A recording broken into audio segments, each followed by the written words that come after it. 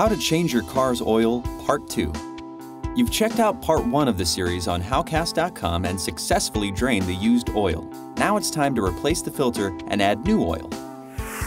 You will need your car owner's manual, a car jack and jack stands, an oil pan, an oil filter wrench, a new oil filter, a funnel, a rag or a paper towel, a large resealable plastic bag, motor oil, and an approved automotive store that can dispose of your used oil and filter according to EPA standards.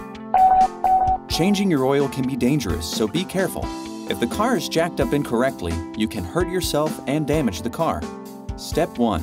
Under the hood or under the car, locate the oil filter, which is usually in the lower half of the engine block. Put the oil pan on the ground underneath the filter. With the oil filter wrench, turn the filter counterclockwise to loosen it. Slowly and carefully remove it with your hands. The filter is full of oil. Have the oil pan handy. Seal the filter in the plastic bag and set it aside. Once you remove the filter, make sure the rubber seal has come off with it and is not still attached to your car.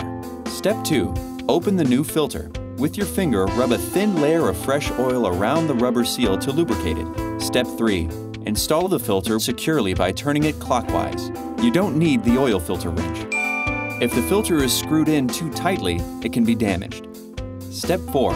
Jack the car up slightly higher. Remove the jack stand, then lower the car back to the ground. Remove the jack. Step 5.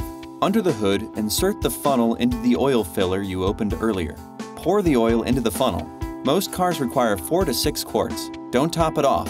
Replace the oil cap. Step 6. Start the car, let the engine run for about 30 seconds, and then turn it off.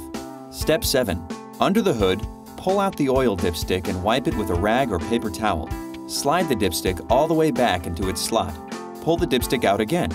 Notice where the line of oil falls on the stick. It should be somewhere between the add and full markers.